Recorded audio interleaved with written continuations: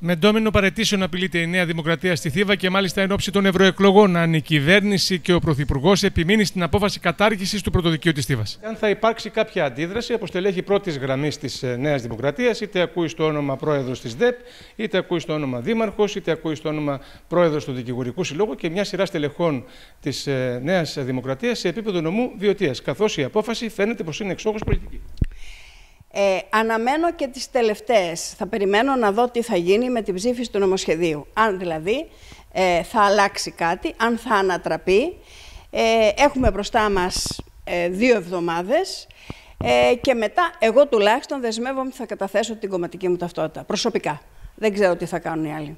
Άλλωστε, περσόνα νέων κράτε κηρύχθηκαν με απόφαση του Δημοτικού Συμβουλίου και του Διοικητικού Συμβουλίου του Δικηγορικού Συλλόγου της Θήβα οι υποψήφιοι ευρωβουλευτές της Νέας Δημοκρατίας με πρόσφατα χαρακτηριστικά παραδείγματα τι περιοδίε των υποψηφίων ευρωβουλευτών Μανώλη Κεφαλογιάννη και Βασίλη Κοντοζαμάνη, οι οποίοι και δεν έγιναν δεκτοί. Με απόφαση του Δημοτικού Συμβουλίου και του Δικηγορικού Συλλόγου δεν δεχόμαστε τους ευρωβουλευτές της Νέας Δημοκρατίας να έρθουν. Δηλαδή, τους λέμε ότι δεν πρέπει να έρθουν εδώ. Και αν έρθουν, θα υποστούν μια προσπάθεια αντεπίθεσης για το γεγονός ότι δεν μας βοήθησαν σε αυτό το κομμάτι το οποίο αυτή τη στιγμή είναι σε εκκρεμότητα και είναι για μας ζωτικό.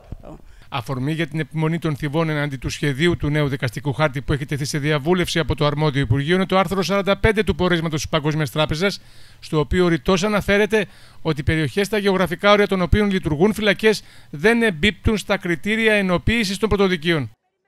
Η Παγκόσμια Τράπεζα είχε έρθει στο πρωτοδικείο της Θήβας επί τέσσερις ημέρες το 2022, την οποία είχαμε υποδοχθεί και είχε εκπλαγεί και από το δικαστικό μέγαρο, αλλά και από τον τρόπο λειτουργίας. Ε, όταν λοιπόν ε, μπήκαμε στη διαδικασία των υποθέσεων, του όγκου των υποθέσεων, αλλά και το τι υποθέσεις υπάρχουν, των ποινικών δηλαδή, φυσικά το σημαντικότερο στοιχείο από όσα ε, της είπαμε και από όσα και ο πρόεδρος πρωτοδικών της ανέφερε, ήταν οι φυλακές οι οποίες είναι στην αρμοδιότητα εδώ και με εισαγγελέα ειδικό των φυλακών, όπως γνωρίζετε. Από τότε λοιπόν μας είπε ότι δεν υπάρχει καμία περίπτωση, πριν δηλαδή κάνουν το πόρισμα, στη συζήτηση που είχαμε, με μεταφραστή κιόλας, δεν υπάρχει καμία περίπτωση να ε, γίνει ενοποίηση του πρωτοδικίου της Θήβας. Έχετε το ισχυρό χαρτί των φυλακών. Στη συνέχεια ε, έφτιαξε το πόρισμα, συνέταξε το πόρισμα, το οποίο παρέδωσε στο Υπουργείο Δικαιοσύνης. Επάνω σε αυτό το πόρισμα, λοιπόν, στηρίχθηκε η αιτιολογική έκθεση του νόμου, του νομοσχεδίου, το οποίο έχουμε σε διαβούλευση αυτή τη στιγμή. Και το οποίο λέει αναλυτικά ότι δεν υφίσταται ενοποίηση, δεν μπορεί να γίνει ενοποίηση σε περιοχή και σε πρωτοδικείο, το οποίο έχει ε, φυλακές, διότι πρέπει να στηριχθεί και η εισαγγελία αλλά και οι φυλακές να εξυπηρετηθούν. Αυτό εμείς ήταν από τα βασικά μας στοιχεία και στο έγγραφο του Πρωθυπουργού το λέμε και σε όλα τα έγγραφα που έχουμε στείλει και σε όλα τα υπομνήματα. Το άρθρο 45 του πορίσματος της Παγκόσμιας Τράπεζας το γνωρίζατε κατά την περίοδο των επαφών σας με την ηγεσία του Υπουργείου Δικαιοσύνης; Και το γνωρίζαμε και το είχαμε αναφέρει πάρα πολλές φορές. Το είχαμε και μάλιστα ο κύριος Φλωρίδης στην συνάντηση που είχαμε με το Διοικητικό Συμβούλιο και τον Δήμαρχο είχε πει ότι είναι το, το πιο ισχυρό σας χαρτί και μάλιστα μας είχε πει ότι επίκειται επέκταση των γυναικείων φυλακών, ενδεχομένως να έρθουν όλες οι γυναικείες φυλακές, αλλά και θα γίνουν και ειδικές εγκαταστάσεις για τους μικρο, έχοντες μικρές ποινές, τις έχουσες μάλλον γυναίκες. Είχαμε δηλαδή συζητήσει και μπήκαμε στη διαδικασία να δούμε πόση έκταση έχει, αν χωράει κτλ. Με δεδομένο αυτό πάντα. Ότι θα συνεχίσει τη λειτουργία. Ε, είναι βέβαιο ότι με, και μέσα στο έγγραφο το οποίο έχουμε συντάξει αυτή τη στιγμή για την Επιστημονική Επιτροπή της Βουλής, η οποία είναι υπεύθυνη. Είναι γύρω στα 45, 45 βουλευτές από όλες τις κοινοβουλευτικές ομάδες.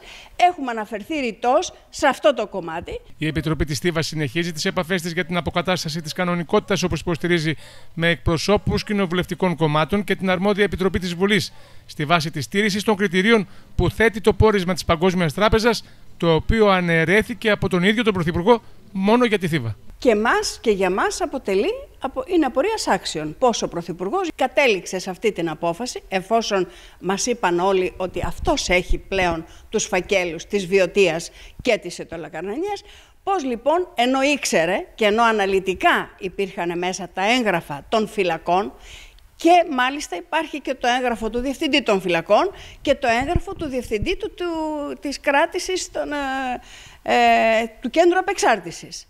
Ε, μας είναι αδιανόητο, γι' αυτό και εγώ φωνάζω και ίσως γίνομαι και αριστική πολλές φορές, ότι πώς μπόρεσε ο Πρωθυπουργός να πάρει μια τέτοια απόφαση σε βάρος της Θήβας και να πούμε κατά παράβαση ουσιαστικά αυτής της απόφασης και της ε, πρότασης της Παγκόσμιας Τράπεζας. Αύριο έχουμε συνάντηση με τέσσερις κοινοβουλευτικές ομάδες της Νέας Δημοκρατίας, που είναι και πρόεδρος ο βουλευτής της συγκεκριμένης Επιτροπής Δικαιοσύνης, ε, με την Πλεύση Ελευθερίας, με την ε, Ελληνική Λύση και με την Νέα Αριστερά και έχουμε ζητήσει από όλες τις κοινοβουλευτικές ομάδες να μας προτείνουν για να μιλήσουμε. Θα μιλήσει ένας προφανώς σε όλη αυτή τη διαδικασία.